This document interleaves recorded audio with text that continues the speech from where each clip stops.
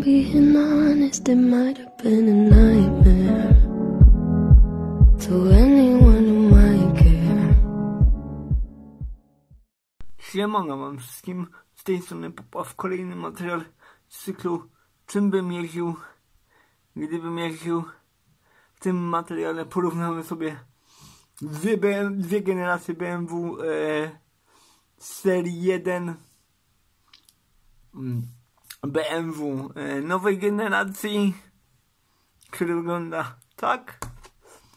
BMW dru, poprzedniej generacji, który wygląda tak. E, druga, poprzednia generacja miała e, w pewnym momencie dwa klosze lamp tylnych. Mi się bardziej podobają te, które widzieliście na zdjęciu.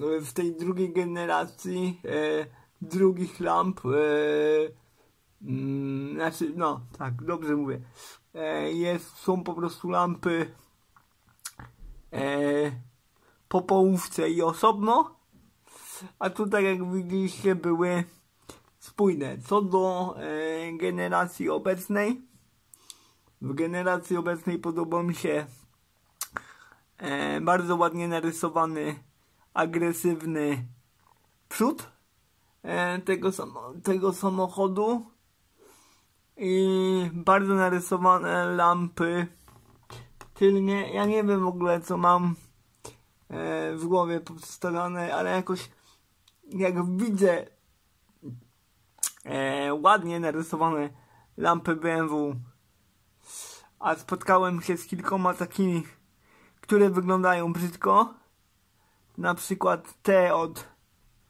E90 e, w poliwcie, tamte mi się w ogóle nie podobają, e, to e, to mnie po prostu skręca z zadowolenia, że ktoś po prostu nad ładnymi lampami potrafi poświęcić, nie wiem, tydzień, dwa.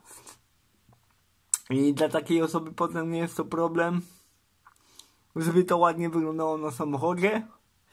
Co ogólnie sądzę o serii 1, e, tak podsumowując, to seria 1 dla mnie to jest auto dla kobiety e, na zakupy e, z małym bagażnikiem. No ja niestety nie wsadziłbym tam wózka, nawet jakby był złożony, chyba że ze złożoną tylnią kanapą, ale wózek też musiałby być e, prawdopodobnie złożony, więc raczej jedynki bym pod to nie kupił.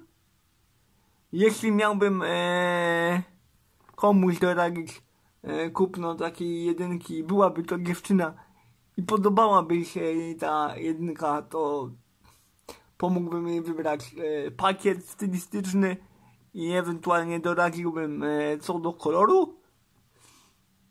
Ale sam bym tą jedynką chyba na co dzień, no chyba, że miałaby e, dużo mocy, e, to mógłbym taką jedynką pojeździć.